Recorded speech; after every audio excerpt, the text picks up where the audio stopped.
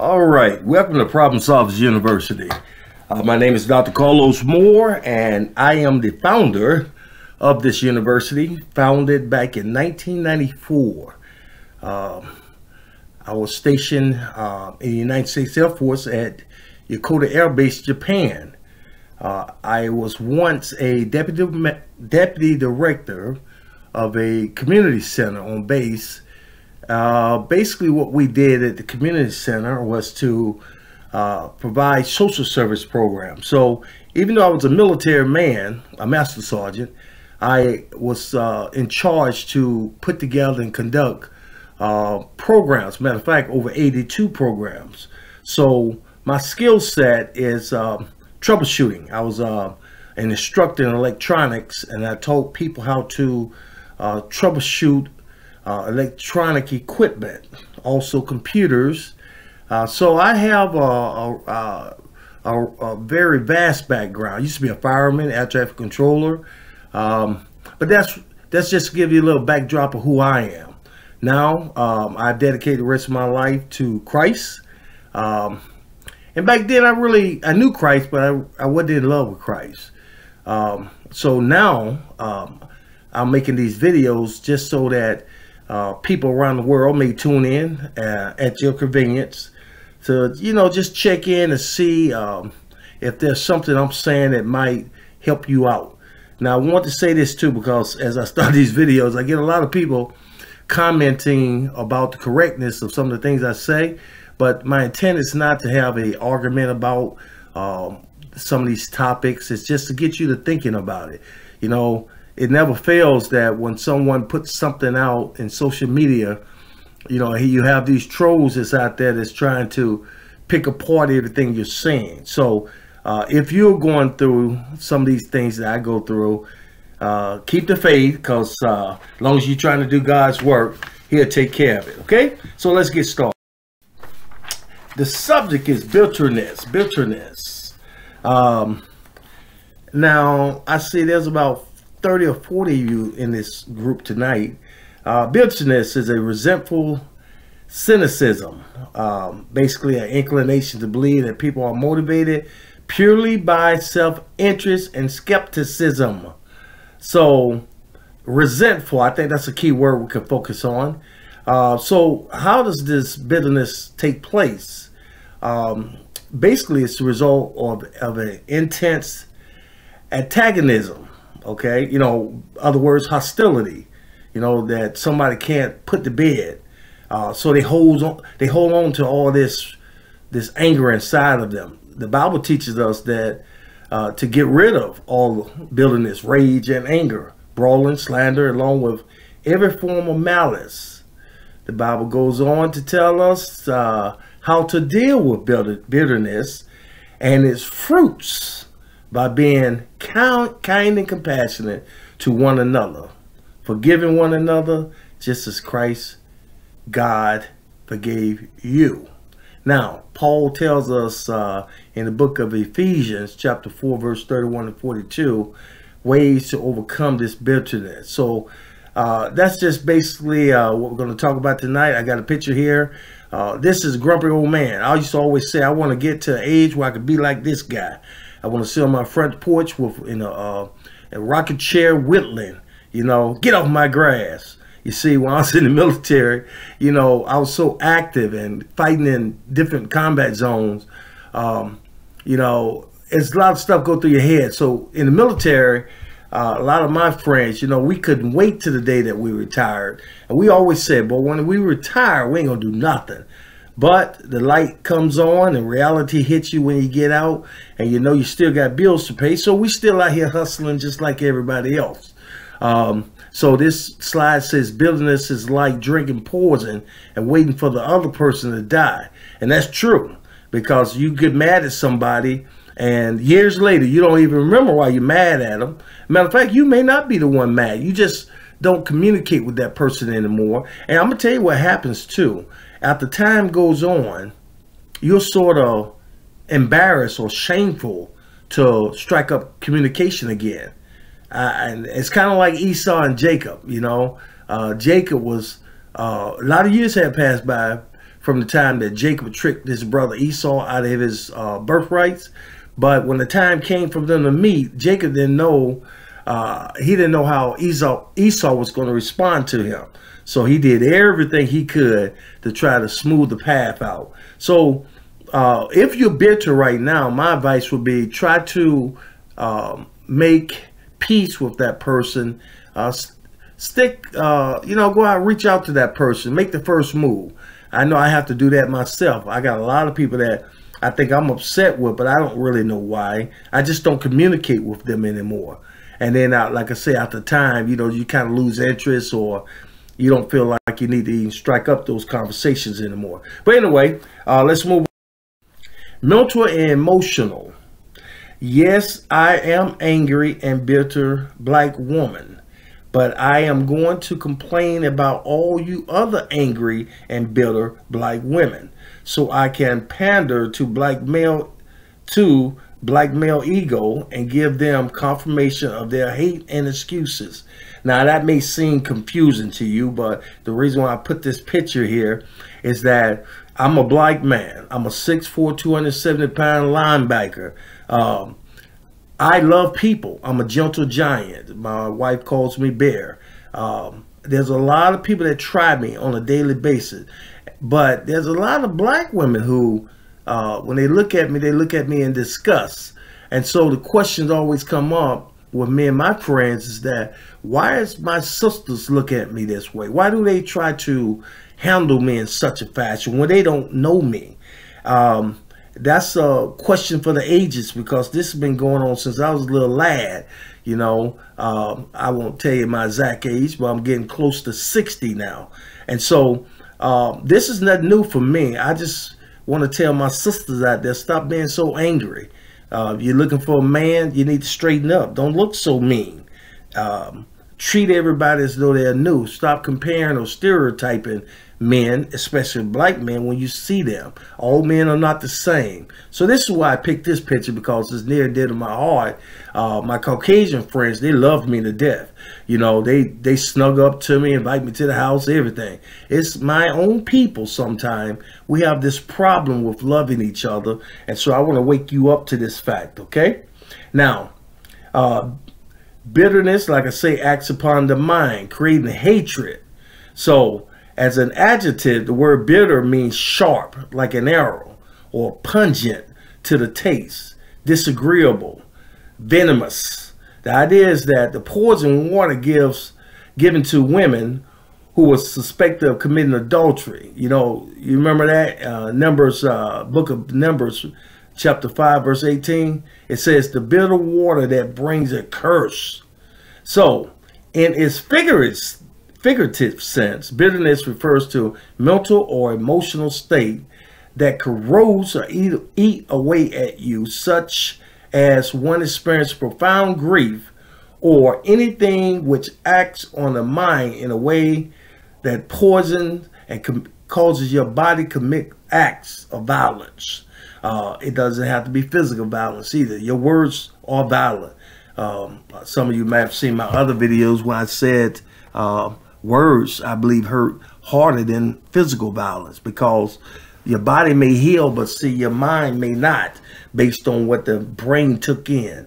So bitterness is uh, that state of mind which willfully holds on to anger, angry feelings, ready to take offense, able to break out in anger at any moment. So let's just say I walked up to this female here, and let's say, um, you know, I just want to say good morning the expression on this young lady face, you know, I would probably say good morning because I kind of know, being a black man, her comeback may be, uh, what do I want?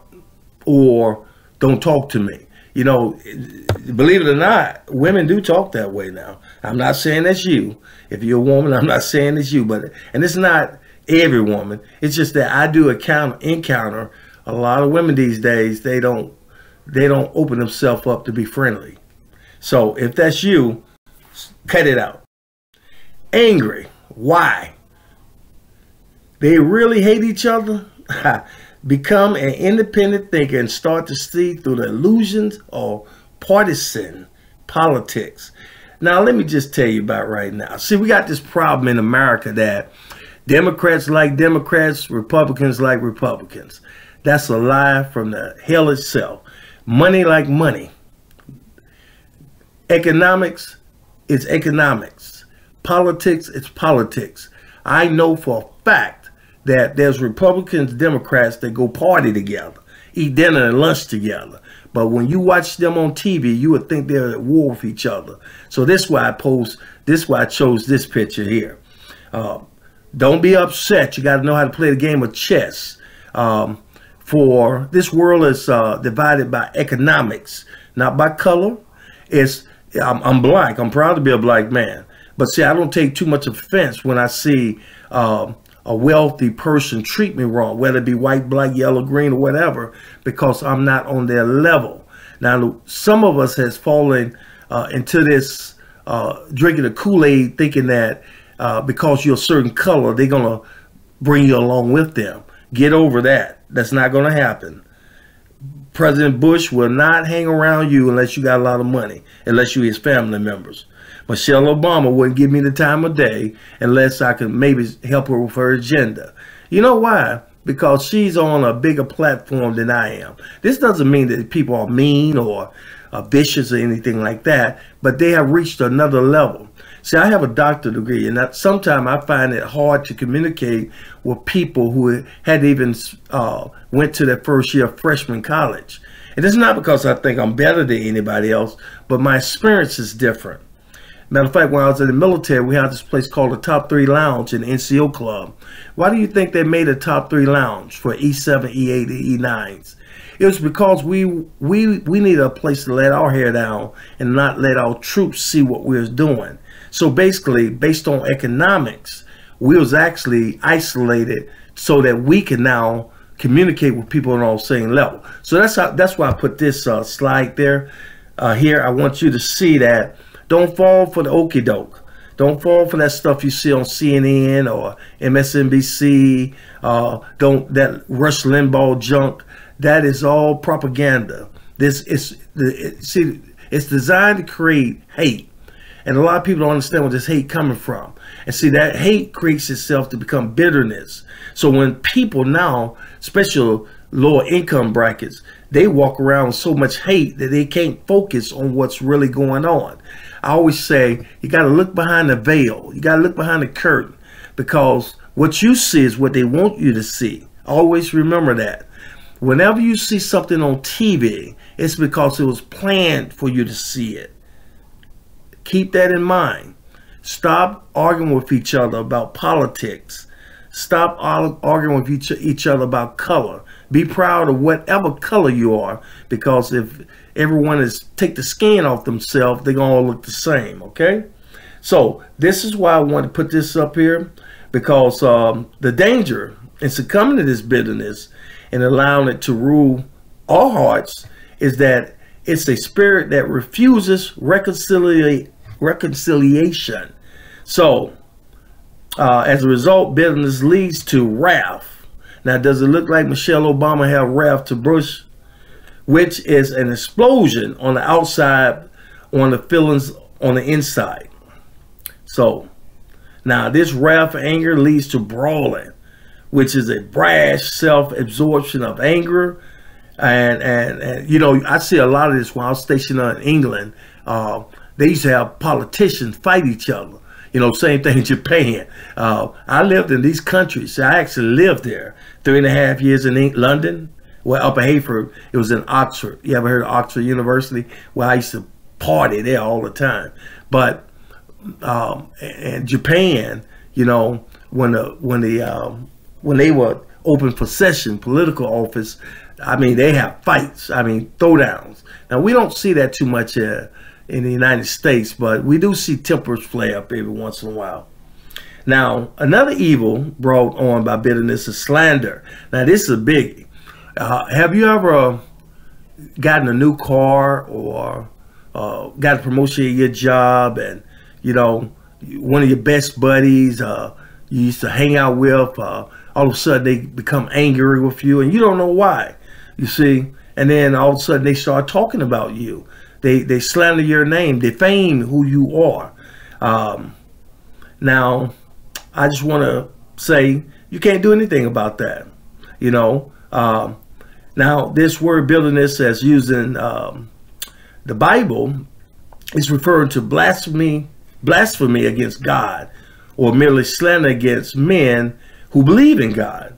You know, a lot of people say, "Well, uh, Dr. Moore, you say you believe in God, but man, you don't act like a preacher, a pastor." I said, "Well, what should one act like?" They said, "Well, you're too happy. You you you're too young looking. Um, you too cool. You know, you got a lot of jive talk." And that's a shame that I have to look a certain way in order to know what the word of God is. And so what I tell them, a pastor is nothing more than an under shepherd of Christ that's in charge of that church. But maybe, um, maybe you need to rethink what pastor mean. Does not mean a dictator. Now, um, I I warn people about making a pastor their idol. So I tell a lot of people, don't look at me as an idol. I had a girl uh, who I was helping on the street the other day because that's what I do, help people get in shelters. And she was bowing down at my feet. I immediately picked her up and um, I ride with a lot of police officers and deputies around uh, the city of St. Pete. And, and she was just trying to kiss my shoe. So they was laughing at me. They said, look, doc, that's what, she, that's the power you have. And it reminded me of some biblical stories where um, Paul, you know, you know, he Silas was going to town and they wanted to bend down and kiss their feet. And they said, no, get up. And so what my point my point is this is that I am just a man. Your pastor is just a man or a woman. And if you uh, find yourself idolizing them, remember now, especially if you're married, women, this can create bitterness in your husband. He may not want to go to church anymore based on the way you behave. It's a form of adultery while you're standing in front of your man. Now, you're not going to hear this from a lot of clergy because they need your money.